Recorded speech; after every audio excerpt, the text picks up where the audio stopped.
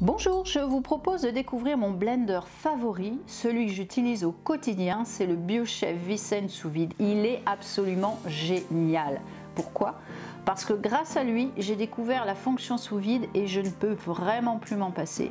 Fini les bulles d'air dans les préparations, les nutriments sont mieux préservés car moins oxydés par l'air et la texture est incomparable.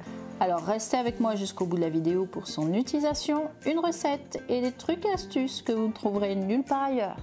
Bienvenue sur la chaîne de Cuisine Gourmande. Je me présente, je suis Nicole, chef en alimentation crue et vivante. Et chaque semaine, je vous propose une nouvelle recette sans gluten, sans lactose et qui convient à tous les véganes. Alors n'hésitez pas, inscrivez-vous et cliquez sur la cloche afin de recevoir une notification dès que je mettrai en ligne une nouvelle vidéo.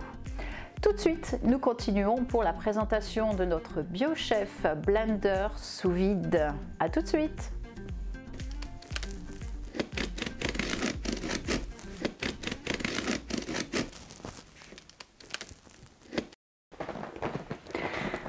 j'ai retiré la boîte du carton d'expédition. C'est l'appareil donc que vous trouvez en totalité dans ce carton. Vous avez en premier le livre de recettes. Le blender BioChef sous vide est très facile à utiliser au quotidien et même plusieurs fois par jour, à commencer par un lait végétal ou un smoothie, une sauce pour votre salade ou vos légumes. Et vous pouvez aussi faire vos purées de légumes et de fruits et là, vous allez régaler vos enfants et enfants en bas âge. Rien de tel qu'une purée de fruits pour réconcilier petits avec de bons fruits, surtout s'ils sont bio. Vous allez voir, ils vont vous en réclamer. Le manche avec une pile. Voilà, à insérer à l'intérieur. On va faire tout de suite qui est vraiment super, un manche qui indique la température, ce qui vous permet effectivement de conserver des aliments en qualité crue et de ne pas dépasser la température de 40 degrés pour vos soupes, comme ça vous aurez des soupes chaudes et crues. Bien, maintenant après avoir vu le blender, je vous présente la pompe à vide que vous recevrez dans un autre carton. En fait, c'est un gros emballage dans lequel il y a ce petit plus celui du blender.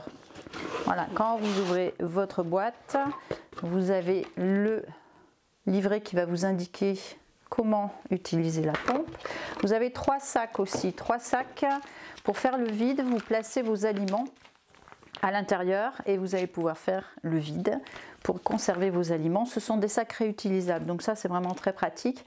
Ici vous avez le joint qu'il va falloir changer sur le couvercle pour pouvoir euh, faire le vide. Donc le joint a changé. Vous avez ici la pompe. la pompe à vide que vous allez raccorder à une prise avec système qui, représente, qui ressemble à un adaptateur que vous allez brancher sur votre pompe. Et au-dessus du couvercle, pour remplacer le bouchon transparent qui se trouve sur le couvercle, vous allez placer cette pièce dans ce sens et je vais vous montrer tout de suite comment on fait.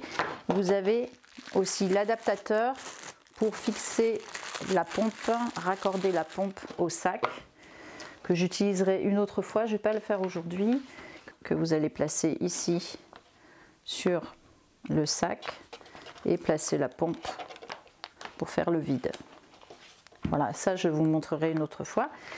Voilà pour tout ce qui est dans l'emballage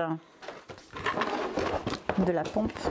Je vais vous montrer maintenant comment fixer la pompe sur le blender.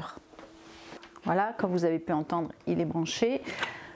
Le bol du blender, vous retirez le couvercle, vous ôtez le joint avec lequel il est livré pour placer le joint spécial mise sous vide avec la pompe. Les repères sont très faciles. Vous avez une butée au niveau du couvercle et vous retirez le capuchon transparent pour fixer celui-ci que vous adaptez. Vous le placez sur votre couvercle, vous refermez votre couvercle vous placez votre blender et ensuite pour la pompe vous fixez votre prise à l'arrière et vous raccordez donc votre prise sur une fiche électrique. Pour le faire fonctionner, c'est très simple. Vous placez votre pompe sur le dessus du couvercle, bien fermé sur votre blender. Et vous allez voir une lumière rouge qui s'affiche, voilà, qui indique que le vide est en train de se faire dans votre bol blender. Je ne vais pas continuer parce qu'après je vais l'utiliser pour vous montrer avec une recette. Donc pour l'arrêter, vous appuyez à nouveau dessus et pour le retirer, il y a juste un petit bouton, vous appuyez dessus et il se retire très facilement. Pour retirer l'air, il y a un système à l'intérieur ici. Vous soulevez, je pense que vous entendez l'air qui entre à nouveau. Et là, vous allez pouvoir retirer votre couvercle. Un petit truc aussi très pratique que j'ai trouvé pour ouvrir votre blender. Le couvercle, système ouverture de boîte. Vous mettez doigt sur le couvercle, le pouce sur le verseur et vous poussez et ça s'ouvre tout seul. Ça c'est un truc que j'ai trouvé parce que sinon le couvercle n'est pas forcément évident à retirer puisqu'il n'y a pas de, prise spéciale. Donc une fois fixé, les deux doigts sur le couvercle et un sur le verseur, vous poussez sur les doigts et ça se retire tout seul, c'est vraiment très pratique. A tout de suite pour la recette. Alors voici maintenant je vais vous proposer un smoothie framboise, banane, citron, date et de l'eau. C'est tout simple. Donc dans votre blender, vous allez commencer par placer l'eau en premier. J'ai mis une demi-tasse, donc euh, une demi ça fait euh, ça fait 120, 120 millilitres. Vous placez ensuite, j'aime bien mettre le citron. Alors le citron, moi ce que j'adore c'est garder la peau euh, jaune. Voilà, il y a plein de bonnes choses à l'intérieur. Donc profitez. Le citron. Ensuite, les dates. Je mets deux dates du medjol. Attention qu'elles soient dénoyautées. Surtout ne mettez pas les noyaux. Vérifiez toujours, même si vous achetez des, des dates dénoyautées Hmm, souvent, vous avez encore des noyaux à l'intérieur. Et une fois que vous avez placé tout ce qui est plus liquide, vous allez mettre la banane. Vous avez vu la banane La peau, voilà, ça c'est une banane mûre. Et comme vous pouvez le constater, à l'intérieur, elle est blanche. C'est pas parce que la peau est marron que la banane est marron. Donc, utilisez une banane bien mûre, il y aura plus de sucre, ce sera moins amer et vous profiterez de tous ces bienfaits. La banane, et ensuite, une fois que vous avez mis la banane, vous mettez les framboises.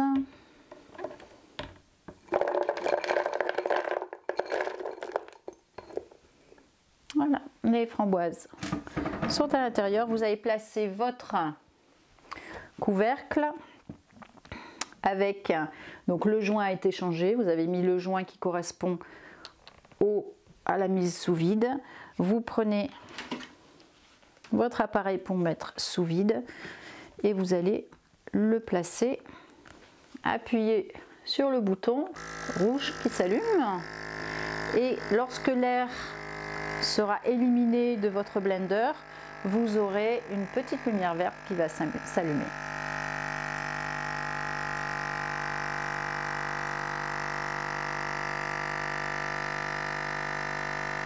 Ça prend un peu de temps, voilà, donc la lumière est verte. Vous pouvez le retirer en appuyant sur le bouton du bas et vous le laissez de côté. Et vous allez pouvoir mettre en fonction votre appareil. J'aime bien le mettre moi-même parce que j'aime qu'il n'y ait pas du tout de grains à l'intérieur de mon smoothie. Donc je vais utiliser la fonction manuelle avec, pour la vitesse, je mets au maximum. Donc vous allez avoir 9 et H, H haute. J'appuie à nouveau sur le bouton rouge pour mettre le temps. Et au niveau du temps, je vais mettre 1 minute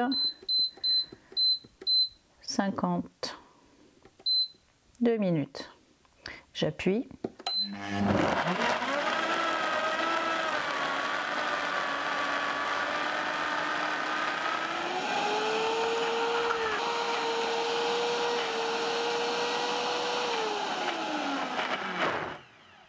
Voilà, ça a un petit peu bloqué, donc j'ai bien essayé de le secouer, mais comme c'est bien congelé, je bouge un petit peu. et je vais le relancer manuellement.